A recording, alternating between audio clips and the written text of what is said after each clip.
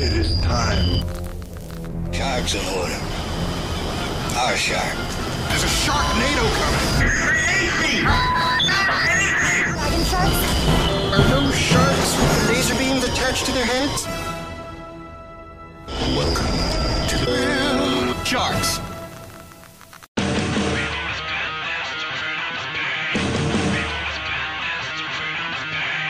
What up, all my real sharks? It's your host Rob with his two chums Billy Hey guys. and Steve. Broadcasting you live from 20,000 Leagues Under the Sea. Sponsored by Anchor FM. And we're going to be talking about enemy combatant films in World War II. World War II films from the other side on episode 11 of the Reel Sharks podcast. Welcome, everybody. And let me say. So, how's it going, guys? Oh, not too bad. So, did you guys see anything good this week? Um, I saw the trailer for uh, Three from Hell. Three from Hell. Yeah, yeah, it's uh, it's Rob Zombie's uh, sequel to um, The Devil's Rejects. Finally, we get to see what's gonna happen next. And you know what? I got Why? to They died in the car. I, that's what everybody thought, but he they've been spending the entire time in prison.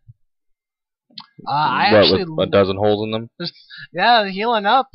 You know, I, I actually liked it. Um, he brought back everybody from the original. I mean, there, there's going to be a few surprise cameos in this movie too, from what I saw in the trailer. Yeah, I don't know. Um, the trailers seem a little okay from what I was from what I seen, but I don't know if I you never guys are trust trailers interested. anymore. I don't know. It did just seem a little odd to me. It did. The movie is like a little, little too late, right? Um, not necessarily. Uh, I actually kind of agree with Steve. I think it's a little too late. I also think it's a little bit too, uh, you know, um, feel like it's a way for him to make a quick buck after, you know, failing on Halloween 2 and all these other projects. Only That's just my opinion. I, I I can agree with you on Halloween 2. I mean, Halloween 2 stunk so bad. It was pretty bad. But you know, I mean, to me, it it's like him trying to get back to his roots. Yeah, I guess you could say that. Although, you know, some people don't really consider uh, House of a Thousand Corpses or The Devil's Rejects to be anything original. They always consider it to be um, Texas Chainsaw Massacre. Ish. Yeah. Basically a rehashing. Spawns of that kind of. Personally, I like uh, House of a Thousand Corpses better. I know it's going to upset some people, but sorry. Sorry, not sorry. but uh, yeah, I actually like House of a Thousand Corpses and uh, Devil's Rejects a lot more. So I'm actually uh, I'm actually excited for it. I. I, when I saw it, I mean, it got me amped up, made me want to watch uh, both movies again. So uh, Steve, what have you? Uh, what did you see? And, uh, yeah, and other movies that have came out that is surprising. Um, I don't know if you guys care so much about it, but the Teen Titans Go versus the Teen Titans is coming Oh. out. So it's Teen Titans versus Teen Titans. So the Teen Titans Go was kind of like that. Uh, co- uh what is it? The Cartoon Really? Network's kind of like I don't know. Fail. No, it's not. It, wasn't. It wasn't the a fail. original though. Teen Titans. Yeah, you know the Original- okay. So I they had actually the like- original. I like them both personally. Right. Do you think Yeah. you like them both? It's that's what it's kind of going with the whole chibi uh, Japanese style animation, I guess, versus the original Teen Titans. I, I mean, it, I- it's drawing money. They It is. they're both pretty successful, so it's a very weird thing that they're doing with the Teen Titans. I Like going way away from what DC's kind of known Hmm. for. This is like Yeah. almost a Marvel type thing. Interesting. I, that's my biggest fear is DC's going to start to like, especially in their animated films, try to be Marvel. It's like no, DC's been doing just fine in their animated movies. Yeah, do I- what you do. they're the they're the kings in the animation. They don't need any. They They don't don't need to need stray away yeah. from the formula. Yeah, exactly. No, well, you know, I, when I saw it, I mean, I hated what they did with Teen Titans Go. I thought it was too cartoony. They kind of just try to. I like it though. I mean, it's for a the newer, younger generation. yeah, That's why I get what you're saying. The original, or for the nostalgia for newer kids to try and get into it. But the original, I love the original. Yeah, I like them both personally. I mean, when I saw it, man, I felt nostalgia when I saw the original in it, and they brought back, or everybody's doing the like two parts to this too. Hmm. Interesting. Um, I actually saw. I'm. no- I know I'm a little late to the party on this one, but I actually saw the uh, Battle for Midway trailer. Have you guys seen that one yeah. yet? Yeah, I saw that. I am so worried. I mean, I have a fear this is going to be all kind of World War uh, two films now coming out, which is ironically what we're going to be talking about in our main topic today. Man, the CGI in that movie is just overwhelming. I mean, come on, get some planes, get some original planes. They're they're still around. Get some Mustangs. Go ahead and get them up there. I mean, use some original props, use some practical effects. I feel like I'm watching like a Lord of the Rings kind of you know based kind of movie, but Right, there's you know it's all CGI. Nothing is real whatsoever. It Oh. just it just looks to me like it's uh Gonna be like a version of Dunkirk.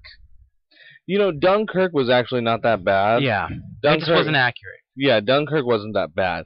The only like I have a feeling this is gonna be more like Battleship. Oh, Oh man, God. like or Pearl Harbor. Ooh. Like I have a feeling they're gonna try and make it into something else. I Do you mean, think it's just because it look it looked cheesy out of the gate, and um, you know they did this whole story. thing? yeah, I don't know if and I the care. story, you- the story looks ridiculous too. I mean, the Yeah, original they should just go with the original story, which is you know they should just go with the whole how we discovered the whole plan that the Japanese were coming early. The Japan, you know, we actually ambushed them. We knew they were coming. It was the first time we ever cracked their code.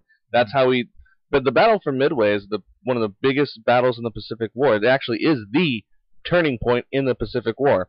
But uh, yeah, I I just think it looks uh very very overdone on the It CGI. looks like Star Wars to me. It just yeah. Yeah. Did anybody get a Star Wars really, vibe? really Because there's overdone. just I love Yeah. a bunch of bullets flying where there's just like a plane avoiding all of them and then like you said the whole like it, i got like a very strong pearl harbor story That's, vibe that's what I'm the- saying too. and then i'm like i don't know if i'm gonna like that but it I, i'll give it a chance for sure so uh, one of the movies I actually saw this uh week too was uh The Crawl. Any thoughts on that yeah, it was terrible. yeah, uh, I know me and Squid are gonna heavily disagree on this. We actually talked about it a little off air. Once upon a time, there was a movie back in 20, uh, 2010 about two people trapped in a house during a hurricane with a tiger.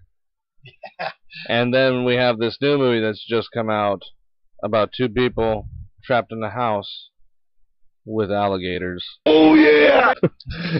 and let me tell you, it's um pretty ridiculous, man. I mean, I thought the movie was so cliche, so on the nose. It was so it was it was just so dumb. I thought it was boring. I just thought everything about it was dumb. Uh, yeah.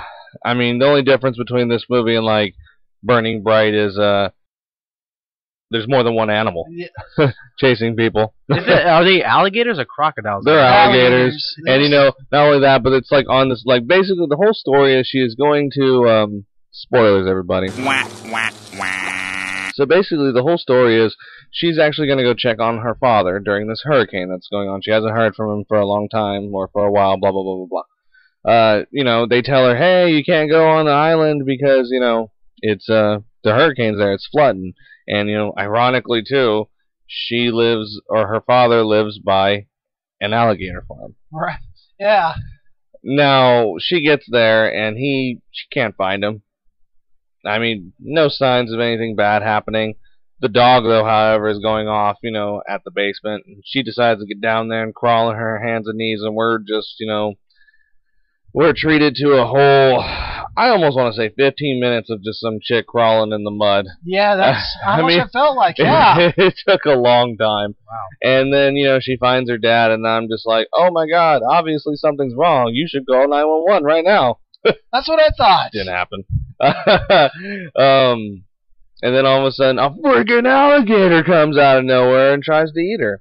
You know, didn't eat her father, didn't finish him off for some reason. It's almost like, uh, Playing it's like with your food. it, yeah, it's almost like the alligator was trying to set it up for some kind of like dramatic plot twist. Dun, dun, dun. they're smart like and by and by plot twist, I mean just basically he was like, you know, I know eventually the daughter's gonna come and check on him, and I'm gonna try and eat her. But that's not the big twist. The big twist was there was two gators down there. There were two gators. Oh, two gators down there. Yeah. Mhm. Two gators. Anyway, uh, Well, you, you know. I, th- at that point, it kind of lost interest for me. yeah, and heavily for me then- too. I was like, No, No, no, but then it gets worse. Then, then the then after, like you know, because it was funny because they're like, "Oh my God, the flooding from the storm," and it was like, "Man, this is the longest flooding I've ever seen to take place ever." know. Because then the water started finally coming into the house, and it was Oh my like God. It was like, oh no, what's gonna happen? the alligator forms, and they're all gonna break open, and then they get out of the house, and there's alligators everywhere, and it's like, oh god, how are we gonna get out? The dog lives. I, I, you know, I'm surprised my Wow. dog. the dogs always live. live in those I type of no, well, they usually don't uh, back in the old days, but nowadays Yeah. they keep them alive. Yes, Yeah, they do. Because animal cruelty and all that. I don't stuff. know if it's that. I just think people just don't want to see a dog die. But it, I I also, can agree but, it, it- but in a way, I thought they were gonna have the gator eat the dog because I I was was thinking that too. because I was like, they have to kind of set up this way to say the gators are bad, and I was like, what what better way to do that by having them eat a dog? they seem like, you know what? I'm gonna call this now. I want to see uh, the crawl versus deep blue sea. What is smarter, these smart alligators or those They're smart not sharks? smart gators. No, they're, They're not. not smart? No, Primal. they're just primal gators. Yeah. Oh my god. But god. you know, one of my biggest questions. Okay, was he feeding them one of them? And what? And the, is that what was going on in the movie? I have no idea. Okay, because I didn't get that either. All of a sudden, there's just some gator in the basement. So Yeah, like- sorry if I missed that part, Well, but no, how the gators got in was from the drain storm. Yeah, but how did he not notice there's some freaking gators in his I. I don't know. I mean, they're you're kinda not hard to drain miss. Storm, just it was sure. it was bad. Well, I, I wrote an article about it, and you can find Yeah. it on our WordPress. Reel Sharks, WordPress.com. That's right. Yes, and you know the one thing that got me the most is she goes through the dream storm and she sees all these alligator eggs. You know, at that point, in your mind would click. I'm like, "Hey, Dad." You were thinking Godzilla. oh, you could have Godzilla. alligators. 1998. Remember when at Oh, the end yes. it's like. Honestly, I didn't think about that till now. Thank you. Oh my gosh. it was some kind of like cliche thing like that. But you know, there, there's a lot better movies out there. Blackwater comes to mind. For those people who have never seen that, that's actually based on a true story about a family that's actually out fishing in Australia, and they actually their boat, their guide gets overturned by a gigantic, like 16, I maybe I think it maybe even be 20 foot gator yeah, plus. and it uh basically keeps them there and traps them the whole Mm. time up in a tree. It's a pretty good movie, actually. Um, you know, there's other ones too. Uh, Primeval comes to mind. I mean, maybe not the best, you know, recommendation, but I think Primeval is it's Decent. okay. It's alright It's what it is. actually again based on a true story about uh, uh Gustave, the crocodile in Africa that's known to have killed over 300 people. Yep. Right. But uh, it's okay. I mean, it, it's good if you want to watch a crocodile movie. I don't. The only part I don't like is when like Orlando Jones is uh running away, and then all of a sudden that gator turns into a horse. and just, sorry, right not gator, crocodile. Crocodile turns into a horse and just gallops after him. I mean, God, what a joke. right. And you know, of course, you got the classic Lake Placid. No rhyme intended. but uh Lake Placid, you know what? I don't know. It was it was a dumb movie. No, I, I like like. it's okay. So the so the crawl kind of fits there. Uh, I don't know where this movie fits. To be honest with you, you're gonna have to ask me on a certain day. That's how I feel about it. I- Is uh, depending on what day you ask me, I'll even say if it's good or not. yeah, definitely great. because it was so plain. Yeah, It was plain. There was really nothing unique to it. I mean, Um, they got out. It was a happy ending too. At that, And a weird ending. I did see a scene where she gets uh, apparently gets attacked by one of the crocodiles. Yeah, and then she survives. But then here's the thing: she gets a. Then she just like gets up and runs away. I'm like, wait. it was like He the like- shadows. It, I was yeah. I was like, no, that alligator like legit. When he done the death cycle spin, Uh, he just like Spin, right yeah, just like grabs her. She gets bit on the leg, and then she gets up, runs full speed away. I'm like, um, shouldn't you be limping? There's a little bit of that plot. That leg would have been gone. yeah, I'm Well, like, and spoilers again. sorry. The the father actually loses his arm from that Mhm. alligator. That thing snaps it clean off. Yep. Sacrifice. But yeah, Right. that Oh, I mean, that movie was just kind of all over the place. But again, I thought it ended cliche. That was a happy ending, but you know, what do I know? you want to see a dumb, stupid uh horror film? I think you you know, there's always an audience for that. Well, you know, I mean, I don't blame people for thinking it's original because people don't know about Burning Bright. It's kind of an obscure movie. So I guess that would be the obscure recommendation for the month is Burning Bright. yes. Um, But okay, we're going to actually take our first break, and we will be back with our final subject of the show, which is enemy combatant films of World War II. Do you or someone you know struggle through life with anxiety related mental disorders? Ever get that feeling that you are one of the few? I'm here to tell you that you are not alone.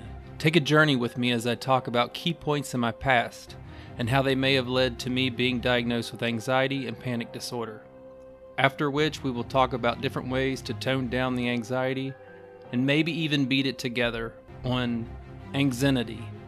The easiest way to remember the name is by thinking about how one searches for a state of zen in the midst of the anxieties of life. My name is Gerald, and I'm the host of Anxiety. Alright, everybody, welcome back. So, everybody knows Saving Private Ryan, The Thin Red Line, Pearl Harbor, but many people don't know the other side. Many people don't know that there's actually other World War II movies out there that depict uh, World War II in some different perspectives. Some from the Japanese, some from the German, some from the Russian. And some of them are quite good. But uh, we're going to have to go ahead and get your uh, Rosetta Stone out, everybody, because some of these are foreign films. So let's go ahead and get started with enemy combatant films of World War II. What makes a good World War II film? I uh, personally think it has to be based off some kind of truth. I think uh, the more realistic, the better. It can't be cheesy. I think that's one of the biggest pet peeves I have. Uh, not only that, but when they use uh, history as a crutch and not the um, not the motor to drive the story. And by that I mean if history is uh, it's not used properly, they just ignore it to tell you know a really lame story. And some of these movies have that, and some of them don't. But we're gonna go ahead and get started with some of them. Let's get started with an American one actually. Enemy at the Gates.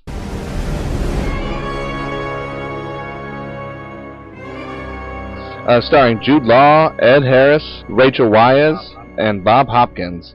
The late, great Bob Hopkins, might I say. So Enemy at the Gates is actually a really interesting movie. It's actually about the Battle of Stalingrad, which some argue is the most important battle of World War II.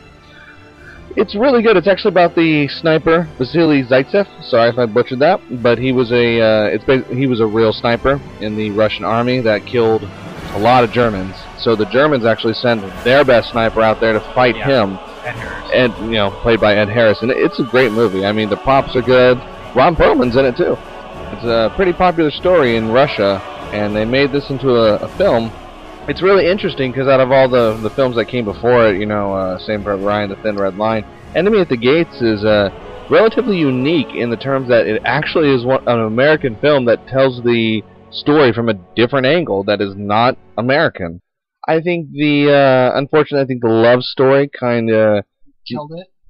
it doesn't kill it, but it definitely makes the main story uh, take a back seat. But it definitely does help drive it, though. For the most part, for the most part, it's a good movie. I, I actually really do like Enemy of the Gates, although I'm kind of biased because I like Jude Law. I know some people are like, Uh, a, a secret Jude Law fan. Yeah, I, actually, yeah, I like Jude Law. filmed in Ireland, right, and and uh, some parts of the UK. But it was an interesting fact that it was a test to see if America was ready to embrace a um, a non-American hero, and especially a Soviet hero. Yeah, So we're like, you know, even though the Cold War had ended around this time, because um, Enemy at the Gates came out in the uh, what in the early 2000s, right? Right. In 2001. Yep. So still, you got like a, a couple of years, but not that long yeah. after the Cold I mean, War you had know, ended, right? yeah. There's still some resentment towards Russia, so to embrace that it's a sensitive subject. You know, that's, Yeah. that's the, you you really you really hit the nail on the head. That's what I was getting at. Is it's it was kind of it's a sensitive subject that they actually made into a movie. It's, it was it was really good.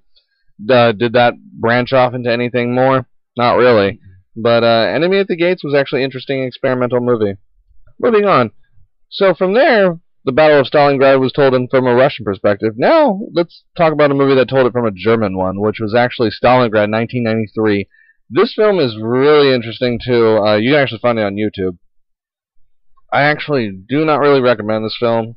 It's kind of uh, ironic enough for being produced in Germany and made in Germany. It's ironically kind of American.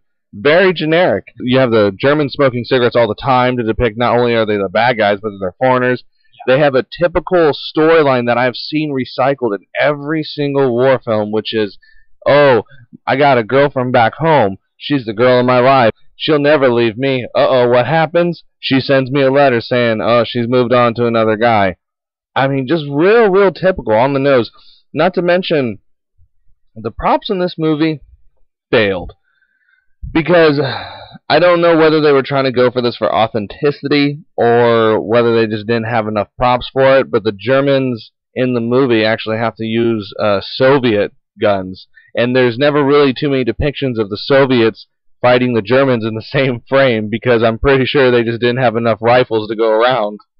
So they actually had to give the Soviet the Soviet guns over to the Germans and have them actually fight with them. So it's kind of a cheap made uh, film, and you know I don't really think it's that great at all. But that's uh that's my opinion on it, and that's uh Stalingrad uh 1993.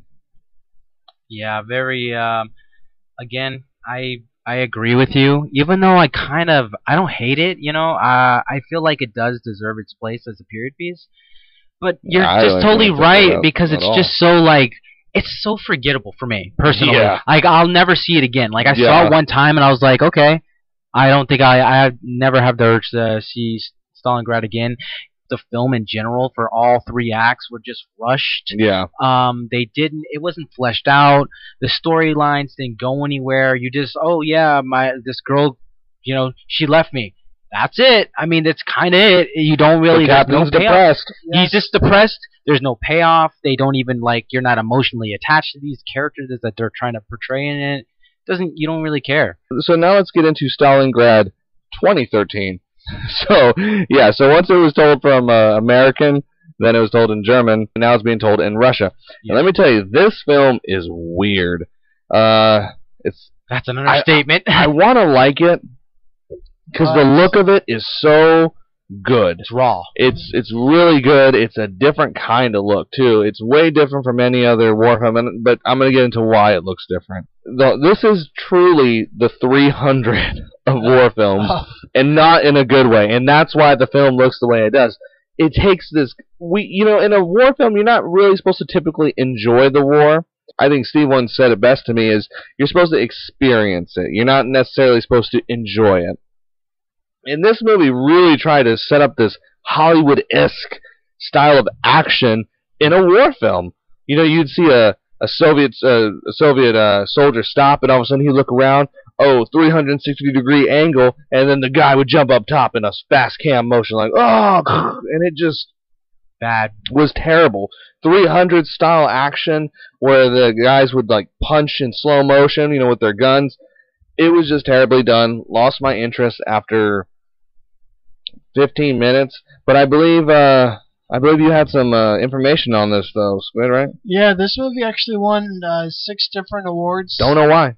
Don't know why. yeah, I mean, well, I, I'm guessing in Russia they really loved it I so could see- I much. could- I I, bet. can see mean, that. I could definitely see that. It was definitely a propaganda-esque film. Yeah, I mean, most of them were for like cinematography, or cinematography, uh, art design, yeah. and costumes. Okay, that is and I fair. can understand that. That's fair because those uh I would give it that. Yeah, like But best that's it. It's a love letter. It, was a love. Le- it was a love letter to uh, to them, and I, you know, they they did- I guess they they can have it. It's just not a good film. no. That you know what I mean? It's just, and that's why I think I was calling it a remake because it was so. I call it remake because it was so vastly different from the 1993 version. Look, I, the first thing I saw about this when I first saw this film is I took I took a look at the box art, like the box art of this film.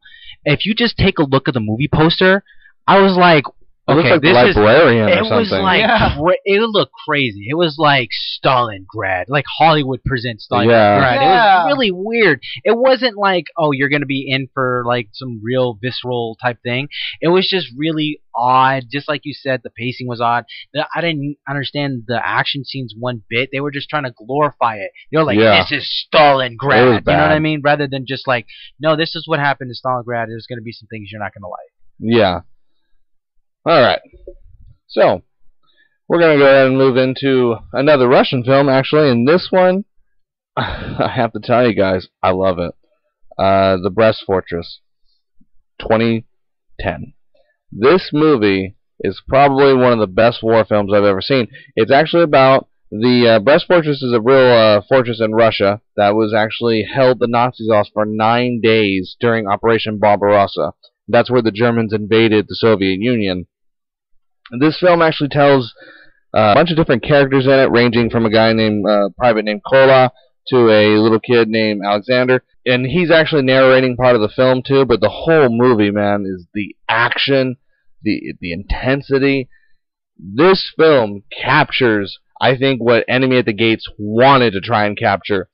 It the props are good. I mean, I can't really pick on this movie too much. it was really good. Not to mention it was actually produced and made in Russia, but it's a great film. Great, great film.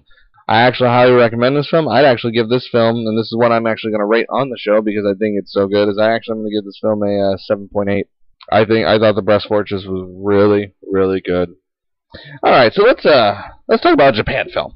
Uh, let's get into let's get into a Japanese film. let me tell you, some of these are really, really, really good.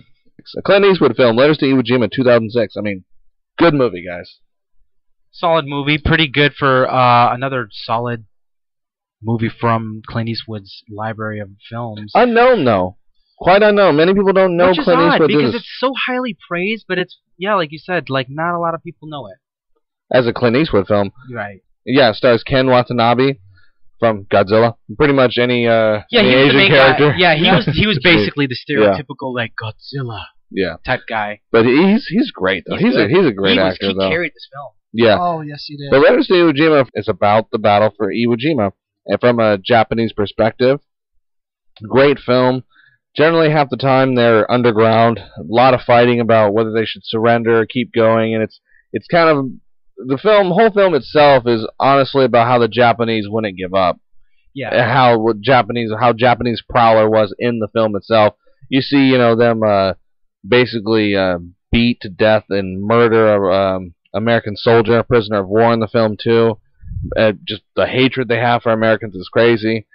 But it was it, it, it's a good film. Letters to Iwo, yeah, Letters to Iwo Jima is truly a film I would also recommend as a it's not only just a war film, but uh just a good overall good movie actually. A testament of what a man's prowess is. Here's another film I'm gonna argue argue this fact that un, that Clint Eastwood made the Japanese not not like they're like the anti-protagonist because you Yes. don't root Yeah. against them, but you're not necessarily rooting for them either because y- you do see some brutality against American soldiers, but then you just you kind of give that respect to the never say die, even though there was no chance for them to live. And just like Rob was saying, the most of them were just like, let's just give up. You know what I mean? And then there was like, no, Yeah. we were just gonna go down fighting because of that visual hatred. But then the just a pride and respect of just like you know of of a soldier. So it's I guess you kind of give him that respect as a soldier, but as a Japanese soldier, you didn't. Yeah. I, that's what I took from the film. Oh, I gotta totally agree with you there. And you know, I mean, I I I actually recommend this movie to everybody. I mean, it, people who want to watch like a Clint Eastwood movie, I say, well, if you want to watch something he's directed, this would be one of the top movies that you definitely need to see. Because, Leon, how are you, you saying? Top you- three. yeah, I I wouldn't say top three, but I would say top five. Uh, I would say top three, man. Yeah, I'm actually gonna rate this movie too. I'd actually give this movie an eight. I would. say That's a solid score. Maybe I'll Solid give it uh maybe like an eight point five, just because the cinematography was um, Yeah, on Letters point. to Iwo at Jima point. is good. Yeah, well, I, I- I would say an eight. You know, it's kind of funny. IMBD give us a, a seven point nine. So Booyah! pretty close, yeah. Yeah, roughly around that score. We don't pretty good. check these when we do these guys. No, we we actually do we do this afterwards. So th- for those who think, oh, they're just sending send no, this is live when we do this. All right. So let's move into uh, another German perspective film. One I actually really recommend too. Really like. I know a lot of these films we're going to say we recommend, but they are really good. Downfall, 2004. This film was really, really, really good. It's about the, the last days of the Third Reich from a German perspective. Uh, they even have uh, Adolf Hitler. You follow Adolf Hitler in this movie, and it, it's crazy. It takes place in Berlin as the Soviets are uh, besieging the city. You see uh, a lot of interesting subplots and stories go along from kids that are basically devoted to Adolf Hitler that are still fighting for the Nazi cause to Nazis going around killing other Nazis because they're refusing to fight.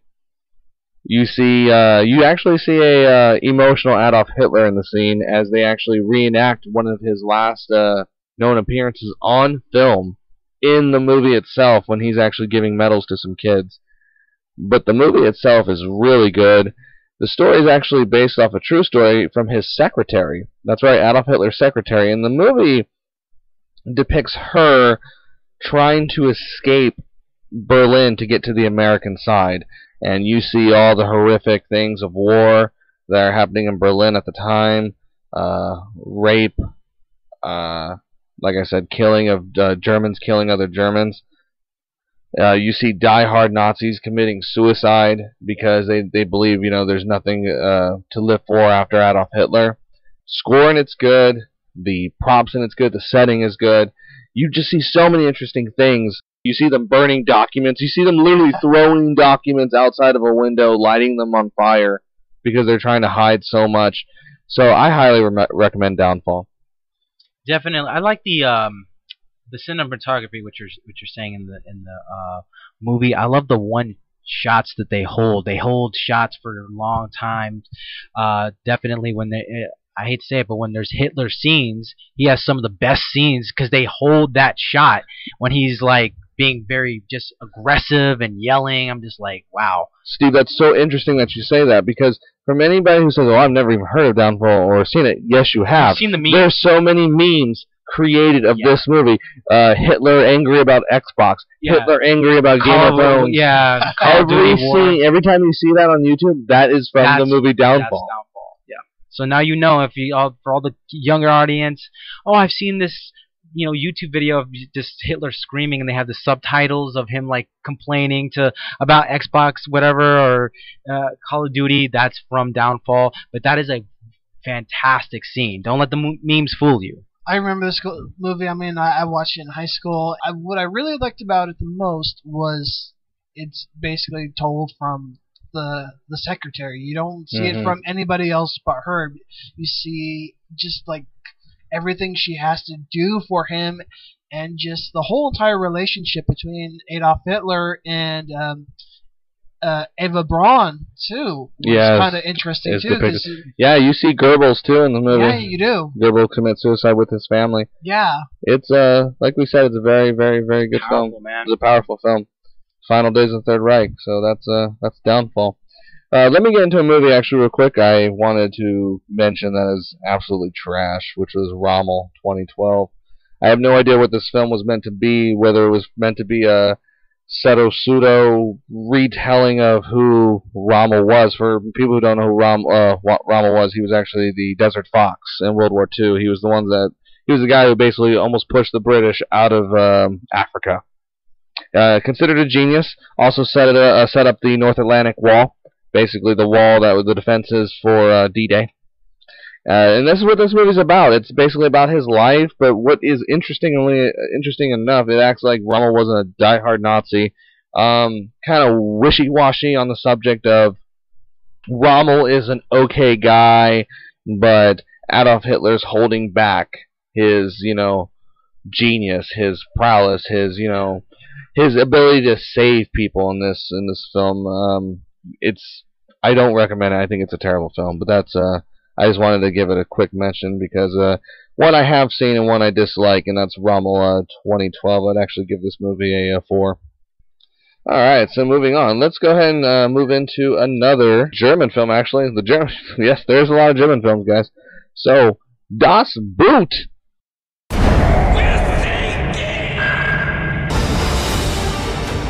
Nominated for six Academy Awards, including Best Director and Best Cinematography in 1986. Some would argue that this is the greatest submarine film of all time.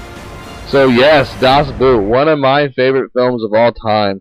Uh, about U-boat, about a U-boat during World War II. It's a great film. I actually even called this the Band of Brothers before there was a Band of Brothers, actually, because this movie is kind of like that. It's about the whole crew and their whole lives and relationships to each other during this uh, turmoil of the war. You know, first it's going well for them, then it's not going good for them.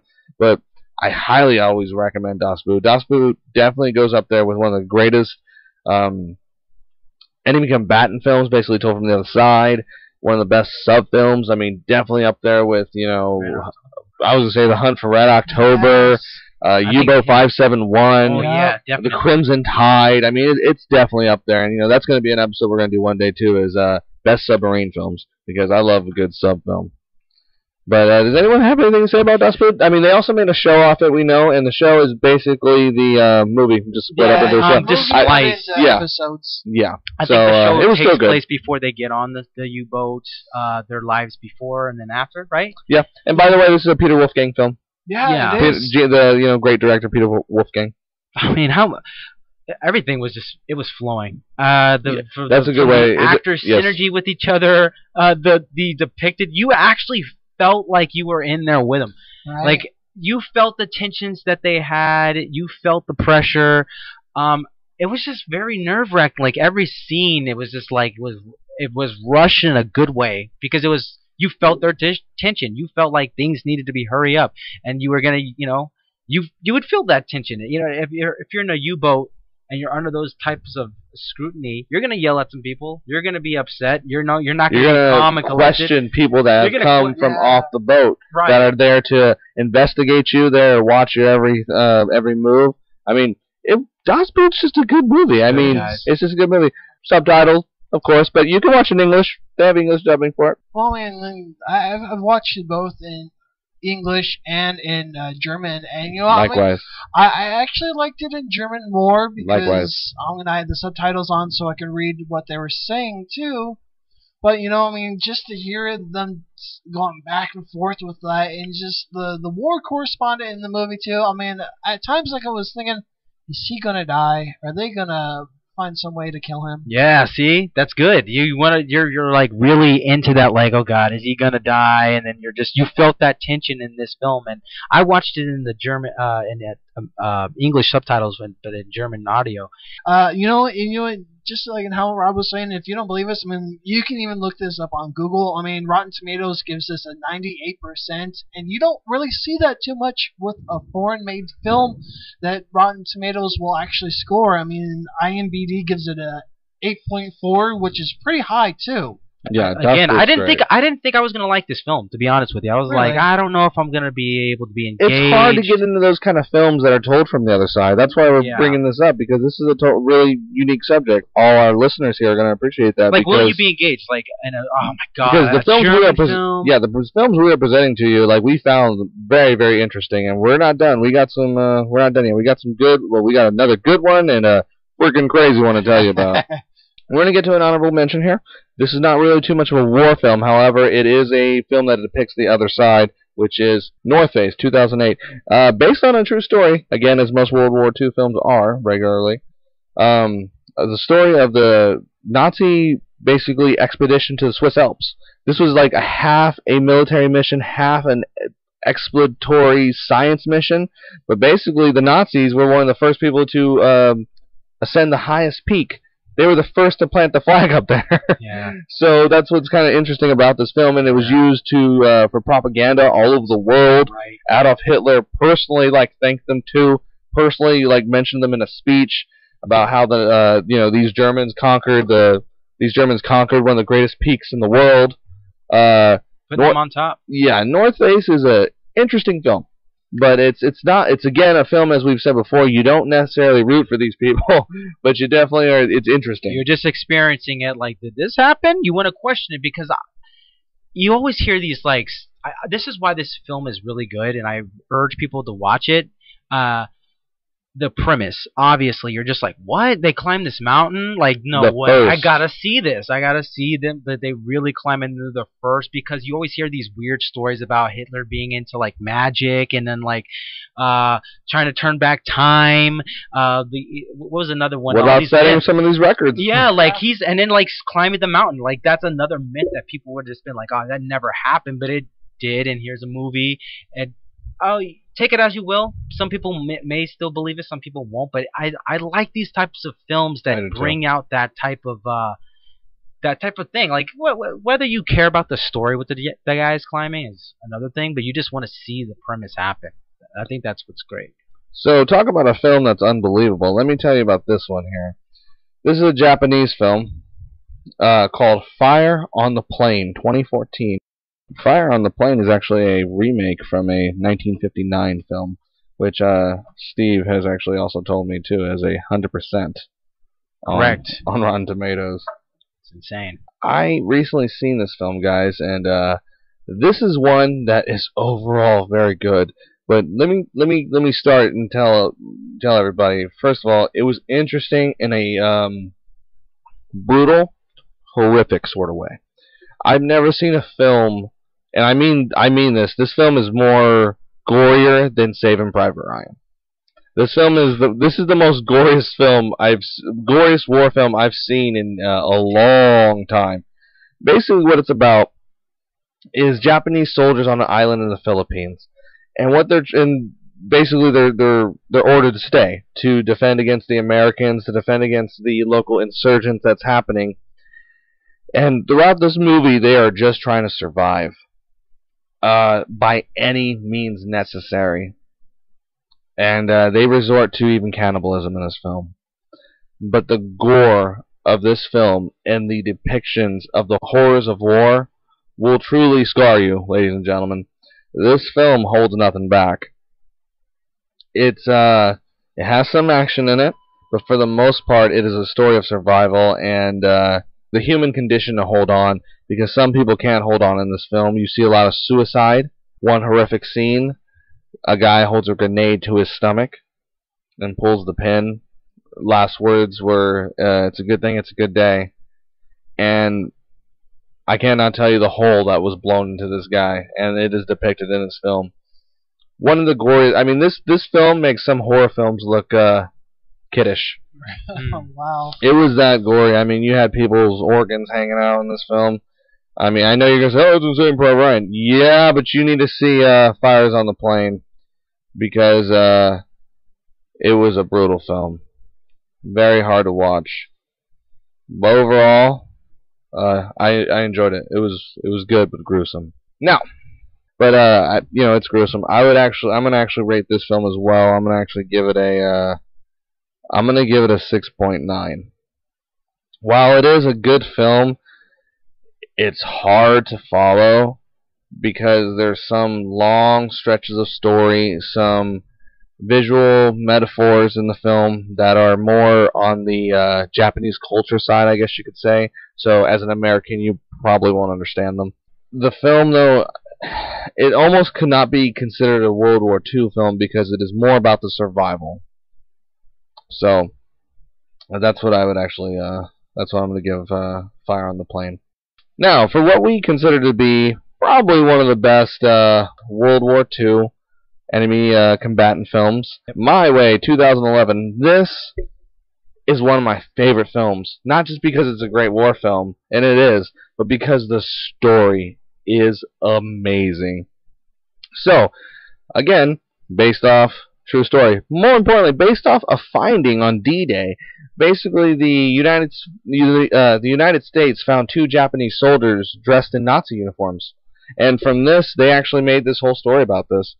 So this film actually depicts a Korean marathon runner who's the best. He's the best in Korea. He goes against the best Japanese marathon runner, and these two compete through their youth multiple times.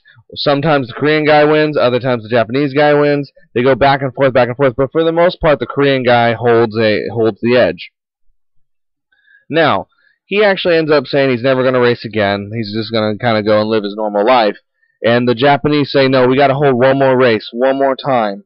And because Korea is a vassal state of uh, the, of Japan at this point, they hold it. And in this whole tournament, they screw him. They basically he wins, but they cheat him out of it. They disqualify him. Right. He gets upset and he causes a riot in the square. What do they do? They lock him up. Not just that, but they send him to be part of the labor force in the Japanese army in Russia. So while he's in Russia, and this is where the movie it's it's pretty it's uh, almost like Full Metal Jacket, basically the brutality of being trained in the army when you're you know forced to be in the military. But the movie gets a nice little twist to it because, uh-oh, guess who is the new commanding officer of the unit? His mortal enemy. The very man who he's competed with since his youth. And this guy just beats the crap out of him this whole time while he's the commanding officer. No holds bar and you know just brutality against him. And what ends up happening though, the Russians attack and they get captured. The two of them end up becoming uh, spoilers, the best of friends over the course of this film. Uh, but not only is it not, and I'm going to leave it right there on the review because I'd rather have people see this film, but it's a story of friendship and sacrifice. Uh, as funny as that sounds, um, it goes. It, but what's really good about this movie is it take it shows you from the beginning of World War II all the way to the end, and every single huge moment in the World War II, these two seem to have a place in and it's almost like a, a wink towards these historical pieces and these historical events. And it's just a really, really good story. I mean, uh, a touching story. One of the funniest criticisms I have for it is uh, there's a funny scene of uh, Japanese playing uh, kickball with Nazis on the beaches of Normandy. And let me just tell you, I've never seen so many happy Nazis and Japanese Imperial soldiers in my life. yeah, it is really weird. They're like Yeah. frolicking around. They're Yeah. like, oh, let's go get like- some lunch. It's like, ah, I shouldn't be happy about any of this. Yeah, once we're done with lunch, we're going to go kill some Jews. Oh Yeah. yeah. Um, the only criticism I would have You about just want this to play kickball? The the only uh criticism I have about this film is it does get too fantastical at points. Yes. Definitely in the fight scenes, they're they're great. They're crazy. They're visceral, but they're also kind of like spectacular. On the nose. Yeah, they're on the nose, definitely. But you don't watch it for that. You're watching it for, um, as Rob pointed, for the story and for the friendship. It's definitely a film about these two guys and their relationships of how what they've done. Like you said, I, I don't think we've seen a film where it starts from the beginning of World War II like this and then it ends. Like a montage. It's a montage, yeah, and it's but it's a very good montage because these guys are not just enemies. They hate he they hate each other. They Yeah. wanted to kill each other throughout the the whole course of the war. I mean, it's it's a pretty yeah, it's pretty crazy. It gets so crazy. Even some of the other uh, enemy states see them as like, wow, these guys really hate each other. Like the Russians are like, the wow, Russians are like, wow. these guys hate each other. You know, I mean, I, I actually like the whole entire story behind this too. I mean, I, I just loved how they're the first enemies and then they become like the best of friends. I mean, you you don't see too many movies like that that are from World War II at all. And I mean, Maybe Homeward Bound. Well, that, that was a point. It wasn't in World War II. Though. I mean, that's a heartfelt move, movie, sure, but About friendship and a journey and a porcupine. yeah, a porcupine. Yeah, there we go. and a pit bull Yes. and a cat and a golden retriever. But you know, there there are certain points in this movie, that, like in, when I first watched it, I thought, like, man, they're gonna absolutely kill each other. At times when you, you, you're watching these things, and is this going to be the, the certain point where the one of them murders the other? But you see that friendship building and budding, and you just see them both being able to escape with their lives and climbing in that mountain is just remarkable. yeah, it's a great film. Definitely uh, go see that one. Uh, I think that, like Rob said, collectively here on the Reel Sharks, that we've nominated that as one of, if not the best, The best. or Yep. two iterations ever, yeah, ever out there. definitely. Uh, I definitely give that movie a eight point three. I agree. I maybe an 8.5 just because of the story. I, I was going to say an 8.4. That's okay. We'll go with a uh, eight point five then. Alrighty. Well, that has been episode eleven of the Reel Sharks podcast. I am your host Rob, with his two noble chums, Steve and Billy. See you guys next time. Catch you guys on the flip side.